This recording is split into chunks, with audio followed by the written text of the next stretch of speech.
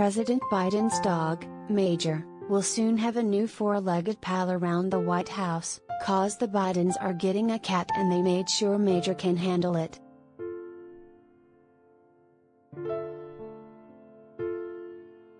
Biden and the First Lady, Dr. Jill Biden, told Today Major underwent special training that included the German Shepherd visiting a cat shelter to see how he reacts around cats, and he did fine.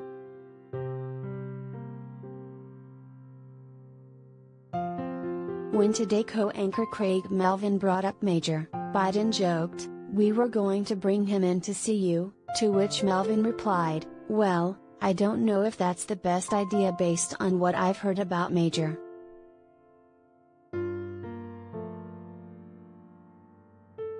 Jill defended Major, calling him a sweet, lovable dog.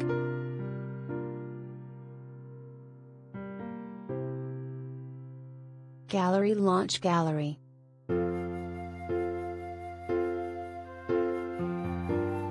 Biden's Puppix Launch Gallery Gallery.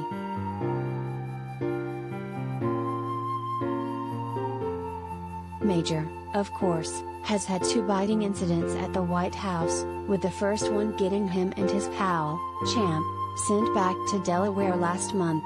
Major eventually returned but just days later there was another biting incident, prompting some extra handlers and a new trainer.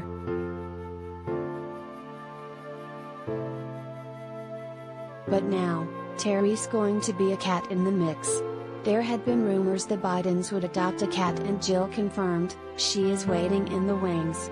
It's unclear when exactly the cat will arrive at 1600 Pennsylvania Avenue but we can only say to the new first felines, Godspeed.